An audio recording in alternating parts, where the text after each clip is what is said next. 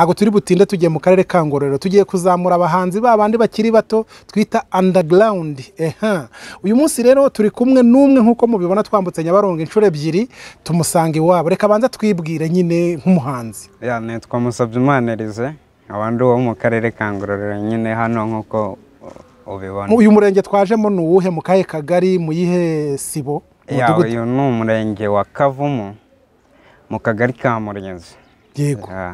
Urakoze cyane. Ah, ubu rero ah, abantu bose bagiye gutangira kukumenya noneho ku nirihe pfunwe wakomeje kugira? Kugira ngo duhamagare kuri telefone uti nanjye ndi umuhanzi waheze iyo mu cyaro tukaba tukugezeho. Niki cya mbere kigushimishije? Ya ikintu cya mbere kinshimishije ni ukuba mpuye nawe. Ya ni cyo cya mbere ni- ni cyo nashakaga bwa mbere. Ubu byabaye? Eh, burya biba bigoye kujya mbere Eh. ariko kugwa usubira inyuma ni byo byihuta Mm.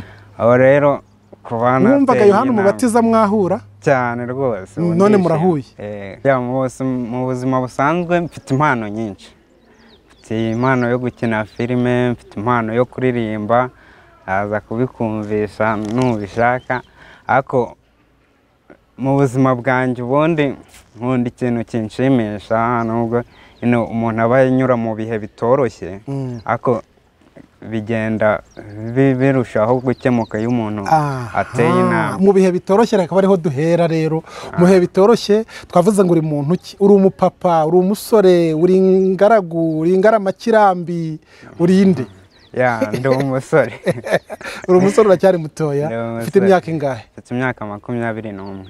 Makumyabiri n'umwe? Twagira ngo duhite tugaruka ku myaka makumyabiri n'umwe. Se ku kijyanye n'ubumenyi ntabwo wacikirije amashuri wize mbese watangiye gute wize he? Ya biba bigoye. Mm. nize pirimeri yonyine. Ahagana he? Ku kigo cya nyamberamo. Nyamberamo? Eh. ubwo abize nyamberamo bose muraziranye. Turaziranye. Ibyaje kugenda bite se musaza ko byaje gukatika? Ntukomeze. Bibaho Mm, ubushobozi bukabura rimwe na rimwe ibibazo bikaza mm. ariko ni- ibyo bibazo bigenda biza bigatuma umuntu atiga ariko nta kundi. Yego reka tutaragera ku bufasha ni byiza no kubukenera. Tubanze turebe noneho hari terime dukoresha hano i kigali mu bijyanye n'umuziki twita umuzigo. Umuzigo uzi icyo ari cyo? Umuzigo ni iki? Aba ari umuziki nyine wumva uremereye. Eh, umuzigo babikoresha iyo umuntu yatangiye nyine gushakisha nk'ingoma iyo nyine yasohotse nyine umuzigo uba wabonetse. Eh, hanyuma reka turebe umuzigo wa mbere rero cyangwa se eh, guhanga bwa mbere kugira ngo uririmbe byagenze biti guhanga ubundi nandika indirimbo ariko ntabwo biba ntabwo biba byoroshye kugira ngo byinjiremo ku nshuro ya mbere bwa mbere wandike iyo ndirimbo unaririmbe so indirimbo na- nahereyeho Mm. Nivuga kuri kagame bitewe n'ibyo azagenda akorera abanyarwanda muri rusange. Mm. Ah. reka tubanze duhere nk'iby'iwanyu mu ngororero. Ni iki perezida kagame yabakoreye? Byatumye ureba uravuga uti ngize inspiration yo kuba naririmba bimwe mu bikorwa by'umukuru w'igihugu.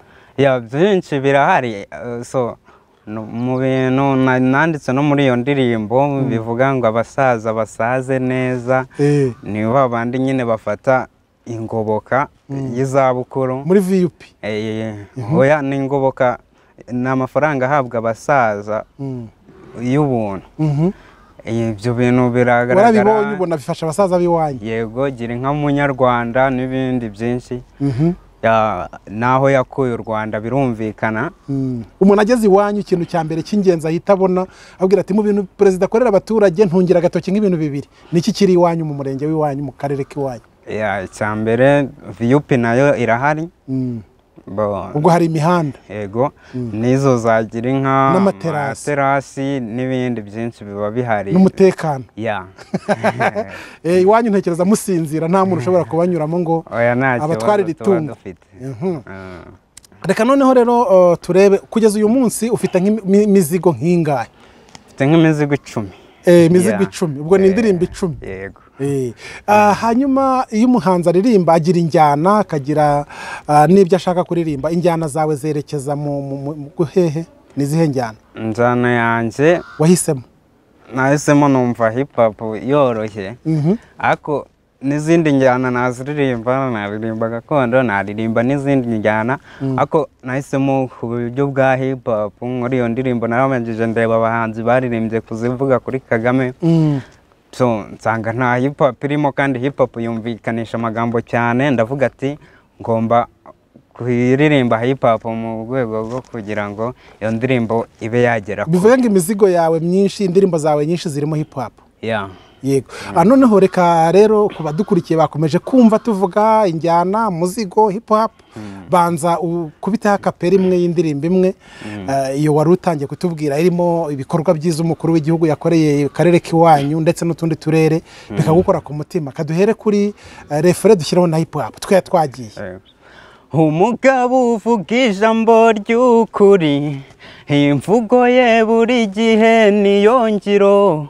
Umugabo witanga atizigamye uwo nta yindi ntwari ni kagame. Paul. Ubwenge bwe ni impano sinshidikanya yasutsweho amavuta. Habetse ubushuti bwiza buri wese yitwa umunyarwanda. Nta rwango rurangwa iwacu yita ku bakuru n'abatoya. Gira inka munyarwanda ndetse na mituweli do sante. Amavuriro meza abasaza basaze neza.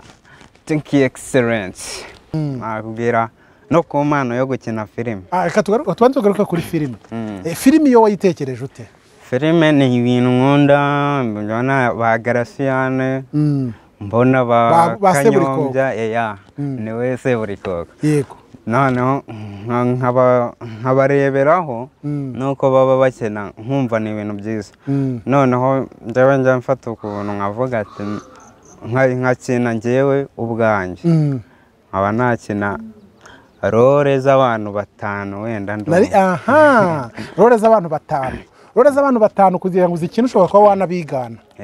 Hari abantu ushobora kwigana. Ndagukenera kangukenereho gatoya ku kantu. Nka kanyombya oya kanyombya kanyombya biragoye. Wowe ndagukina akantu Mm. wumve urumva impande uruhande rumwe wumve n'urundi n'urundi. Ugiye kuduha ibyo abantu ugiye gukina njyewe- rore z'abantu batanu uri umwe. Ngiye gukina ndakina ndi inka. Nkene ndi uruhinja. Nkene ndi se w'umuhungu. Mhm. ya. Eh, ibyo byose birabikina urabikina wenyine. Eh, reka tuguhe akanya.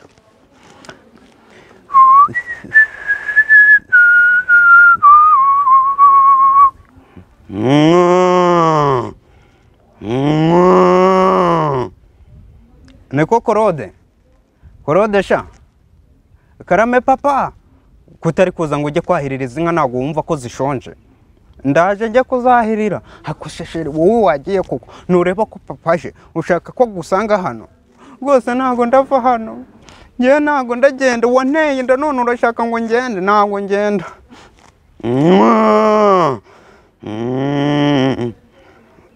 Claude izi nka ntabwo uba uri kuzumva ariko. Papa ndaje. Ese ubundi uri mu biki?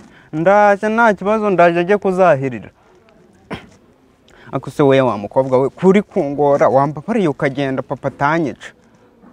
Rwose ntabwo ngenda ahubwo ndumva nshaka imyembe mbibisi mbabarira uyimereza numva ntabwo ngenda.